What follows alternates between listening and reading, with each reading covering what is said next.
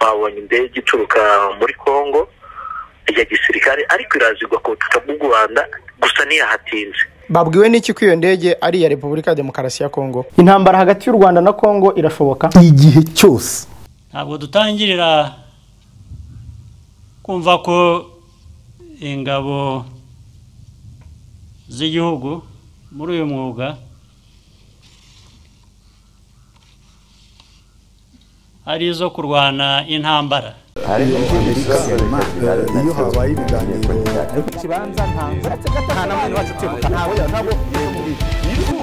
murabibona murabizi mugaceceka. Uruhare rw'itangazamakuru mu iterambere ry'igihugu. Ntabwo akenshi itegeko rivuga ngo kapitani ibrahim traore ukuriye agatsiko ka gisirikare. Ndabasuje kandi ndabifuriza ibihe byiza nshuti bakunzi ba primo media rwanda. U rwanda ruravuga ko indege y'intambara ivuye muri repubulika ya demokarasi ya kongo yavogereye ikirere cyarwo. Ubuvugizi bwa leta y'u rwanda muri iryo tangazo mubona buravuga ko indege y'intambara ya sukoyi makumyabiri na gatanu ivuye muri repubulika ya demokarasi ya kongo yavogereye ikirere cy'u rwanda isaa tanu z'amanywa yo kuri uyu wa mbere. Itangazo ry'u rwanda rivuga ko iyi ndege yaguye ku kibuga cy'indege cya rubavu mu burengerazuba. Mbere y'uko isubirayo kandi ko nta gikorwa cya gisirikare cyo kwihimura cyakozwe. Uruhande rwa repubulika ya demokarasi ya kongo ntacyo ruratangaza ku bivugwa n'u rwanda. Itangazo ry'u rwanda rivuga ko abategetsi barwo binubiye ubu bushotoranyi ku ba repubulika ya demokarasi ya kongo ku cyumweru ku kibuga cy'indege cya goma muri repubulika ya demokarasi ya kongo hagaragaye indege ebyiri z'intambara. Bivugwa na bamwe ko zije mu bikorwa byo kurwanya M23.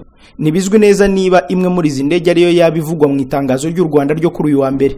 Ku murongo wa telefone navuganye n'umunyamakuru kofi ukorera mu karere ka rubavu. Ntangira amubaza niba hari umuturage wamubwiye ko yaba yabonye iyi ndege n'uko byagenze. Ni ibyo koko mu masaha ya saa tanu ashyira saa tanu n'igice bamwe mu bari bari mu mupaka uhuza akarere ka rubavu n'umujyi wa goma babonye indege ituruka muri congo ya gisirikare ariko irazigwa ku butaka bw'u rwanda gusa ntiyahatinze. Kuko yahaguye ihita yongera irahaguruka ibyo bamwe nyuma bihita bitangira gukwirakwira ku mbuga nkoranyambaga ko ari nk'ubushotoranyi leta ya kongo irimo ishoza ku rwanda. Babwiwe n'iki ko iyo ndege ari iya repubulika ya demokarasi ya kongo jisite bo babonye ari indege ya gisirikare. Ubundi ni ukuvuga ngo umwuka uri mu baturage wari uri mu baturage mbere bo usibye wa muntu wayibonye turuka muri kongo ariko umuntu wayibonye igwa yongera inahaguruka we ntabwo yamenye ko ari iya kongo iyo ndege hamaze nk'igihe kingana iki? Nta nubwo nta n'umuntu turimo gusa yaje isa nk'igwa ku kibuga ihita yongera irahaguruka birumvikana ko radari cyangwa bya byuma bifata amashusho by'u rwanda bishobora kuba byayibonye na byo rero? Byayibonye kuko n'ubundi nyuma yaho ni nabwo leta y'u rwanda yahise isohora itangazo igaragaza yuko leta ya kongo ishobora kuba yatangiye ubushotoranyi. Ubundi birazwi ko indege nk'iyo ngiyo mbere yo kugwa ku kibuga cy'indege abapilote bo ku ruhande rwo hakurya bashobora kuvugana n'abari ku kibuga cy'indege ntabwo ibyo byabayeho wenda? Oya ntabwo byaba byabayeho. Kuko urebye ni bino bibuga bitoya umuntu ashobora kukigwaho wenda no kubera ko akireba nk'uko ubona ishobora kuza ikaba yagwa no ku kibuga wenda cy'umupira runaka. Yego. Umwuka uri aho ngaho umeze ute kugeza ubu? Kugeza ubu ngubu umwuka uri mu baturage nta kibazo imirimo n'akazi bari basanzwe bakora karacyakomeje nk'ibisanzwe kuko abenshi bo ntibanabashije kumenya ayo makuru. Gusa bamwe mu babashije kumenya ayo makuru ariko binyuze mu mbuga nkoranyambaga bo bacitse ururondogoro bamwe bagaragaza yuko bishobora kuba ari ubushotoranyi leta ya kongo yaba ishatse gutangiza ku rwanda nyuma y'uko n'amagambo ngo amaze iminsi avugwa na bamwe mu bayobozi ba repubulika iharanira demokarasi ya kongo avugwa ku rwanda nyuma y'uko emuventi itangije intambara bamwe bayishinja ko ifashwa n'u rwanda. Abayobozi aho i rubavu batiki kuva ibi byaba twagerageje gushaka ubuyobozi bw'akarere ka rubavu ntibyadukundira kubera ko bari mu nama ariko urebye nta byacitse nta byacitse usibye abaturage bo nyine bakomeje imirimo yabo. Inzego z'umutekano urabona zimeze zita aho ngaho i rubavu? Inzego z'umutekano ni ibisanzwe uragera kuri ofisi ukabona bari gukora bisanzwe ntabwo wavuga ngo wenda ngo umutekano wapanuwe bi- bitajyanye ngo turi nko mu bihe bidasanzwe turi mu bihe bisanzwe kuko urebye abashinzwe umutekano uko babaga bangana nta cyiyongereyeho aho ku kibuga aho iyo ndege yaguye hari iki bimeze bite kugeza ubu? Ku kibu- ku- ku kibuga aho iyo ndege yaguye bimeze bite? Naho ntashobora kuko n'ubundi ntabwo ntabwo wavuga ngo ni ikibuga zisanzwe zigwaho kubera ko zitaratunganywa gusa nyine hari na gahunda yo kuzagitunganya ariko ntabwo kiratunganywa ntabwo wavuga ngo wenda ngo hari inzu zihasanzwe oya. Ntabwo zisanzwe zihagwa Mm. Mm. hari amakuru yavugaga ko interinete n'amarezo ya telefone byaba byakuweho mu karere ka rubavu. Mm, ntabwo byigeze bivaho. Ntabwo byigeze bivaho kuko n'ubu ngubu turimo kuvugana. Nanjye ariho ndi kandi turimo kuvugana na kimenyimenyi na na interineti rwose uri gukora nta kibazo. Ku mupaka urabona bimeze bite? Inzego z'umutekano urabona ari ibisanzwe byo? Naho ni ibisanzwe usibye muri cya gihe wavuga yuko mu minsi ishize ubwo hakurya bari bari mu myigaragambyo wabonaga yuko abapolisi biyongereye ariko uyu munsi ni ibisanzwe rwose. Mm, Murakoze cyane. Haracyari umwuka mubi hagati y'ibihugu byombi nubwo muri iyi wikendi ba minisitiri w'ububanyi n'amahanga ba kongo n'u rwanda bahuriye muri angola mu muhate mushya wo guhosha amakimbirane. Repubulika ya demokarasi ya kongo ishinja u rwanda gufasha umutwe wa m23. Ibyo leta y'u rwanda yagiye ihakana kenshi. M23 kuri ubu iragenzura igice kinini cya teritwari ya rucuru mu ntara ya kivu ya ruguru. Mu cyumweru gishize umuvugizi wungirije wa guverinoma y'u rwanda alain mukurarinda yabwiye primo media rwanda ko nubwo u rwanda rukurikiranira hafi ibibera muri kongo ndetse ingabo z'u rwanda zikaba ziri maso isaha n'isaha ariko ko icyo u rwanda rushyize imbere atari intambara. Muri iriya tangazo harimo ko e, ingabo z'u rwanda ziryamiye amajanja ziri maso. Mu minsi yashize umukuru w'igihugu ati ntabwo tuzemera ko intambara igera aho ngaho igera hano tuza- tuzajya tubasanga aho ngaho. Bivuze ko ziteguye guhita zijyayo? Hari igihe ingabo ziteguye bivuze ko ingabo ziteguye kurinda umutekano n'ubusugire bw'u rwanda n'abanyarwanda. Ariko mwavuze ko ziri maso ziryamiye ziri maso ingabo z'u rwanda zihora amaso. Yee, turanabisubiramo kuko eh, banongeye kuba n'amakuru yaba hino no hakurya bagomba kuyashaka. Mu- muri bimwe bizwi bidashidikanywaho na guverinoma kongo itajya ihakana ni uko ingabo za kongo zirwana zifatanyije na fdr warumva babibeshyuza? Ariko cisekedi perezida wa kongo yavuze ko fdr yabaye amateka. Eh, ariko aza no kwirukana abasirikare avuga ko bakorana na fdr banacuruza intwaro muri fdr cyangwa n'indi mitwe. None se. Niba se eh, fdr igamije iki? Igamije se kujya gufata ubutegetsi kinshasa uransubiza ni abanyamakuru nanjye nzajya mbabaza fdr ikigamije ni ntabwo uguhungabanya nzi niba igamije gufata ubutegetsi bw'ikinshasa gusa icyo nzi cyo ni uko ari umutwe leta y'u rwanda ivuga ko ugizwe na bamwe mu basize bakoze ibyaha bya jenoside Ugamije iki? ugamije guhungabanya umutekano w'u rwanda. None rero waba uzi neza yuko wambutse inkiko z'u rwanda. Hariyo fdr none se waba uri wowe ukaryama ugasinzira cyangwa waryamira amajanja nk'uko wabivuze.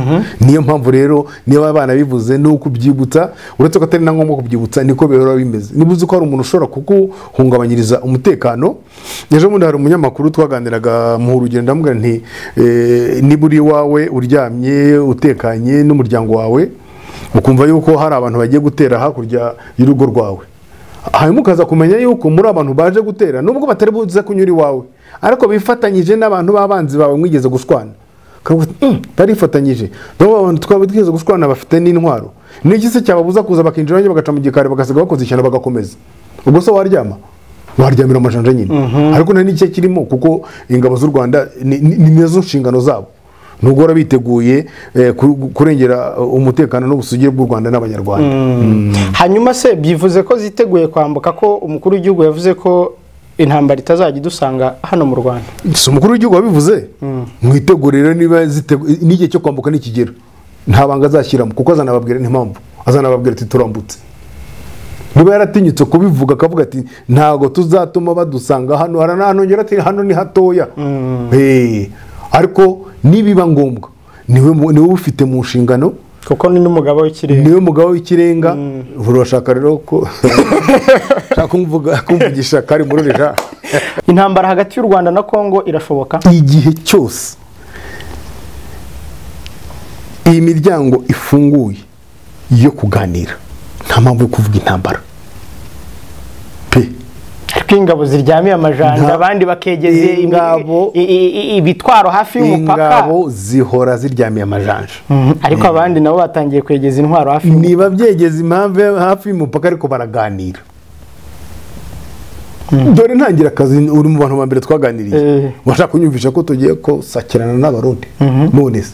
Ariko ndakubwira ntoya Eh.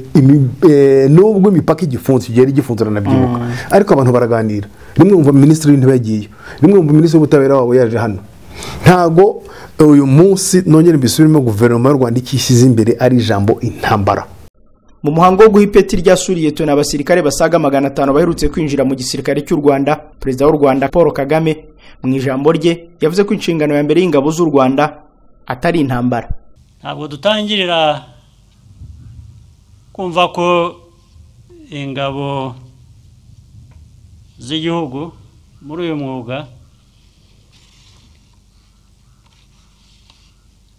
ari izo kurwana intambara. Ibyo biza hanyuma.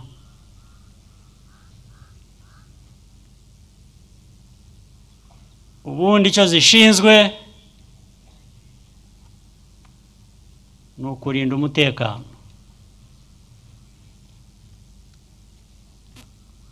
Ni ukurinda amajyambere. Iyo ibyo bihungabanyijwe n'intambara ubwo ni bwo nyine ibyo bindi biza ni cyo navuze ko biza hanyuma. Twe rero mu myumvire yacu mu myumvire y'igihugu myumvire y'abari muri uyu mwuga w'ingabo zirinda igihugu aho ni ho duhera. Duhera kubaka kwiyubaka kurinda ibyo byose igihugu kigeraho. Bitandukanye no kubaka ingabo mu buryo zishoza intambara. Indege ya gisirikare ya repubulika ya demokarasi ya kongo yaguye. Kandi irongera ihaguruka mu mahoro ku kibuga cy'indege cya rubavu. Nyuma y'uko ku wa kane ushize perezida wa kongo felix tshisekedi yavuze ko igihugu cye cyagerageje inzira ya diporomasi mu gukemura ibibazo avuga ko kongo itezwa n'u rwanda ariko iyo nzira ntitanga umusaruro ufatika kuri ubu n'iyi intambara ikaba ishoboka.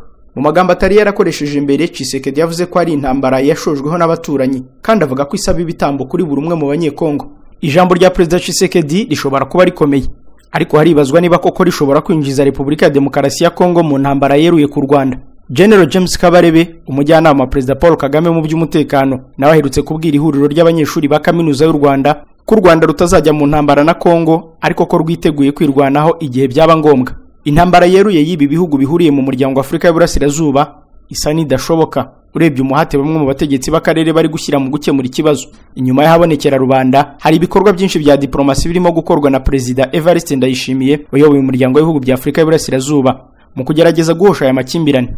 Mu gutegura iyi nkuru ku murongo wa telefone nagerageje kuvugana na brigadier general ronald rwivanga umuvugizi w'ingabo z'u rwanda. Nshaka kumubaza niba kuba u rwanda rutarasha indege ya repubulika ya demokarasi ya kongo ari impuhwe. Batinye kuyirasa cyangwa niba se badashobora kuyirasa. Nashakaga kandi kumubaza icyo arakurikiraho nuko byari kugenda iyo iyi ndege iza kugwa nk'i kanombe ibi bibazo byose ariko kuko atitabye telefone yigendanwa n'ubutumwa bugufi na mwari iyo habaye ibiganiro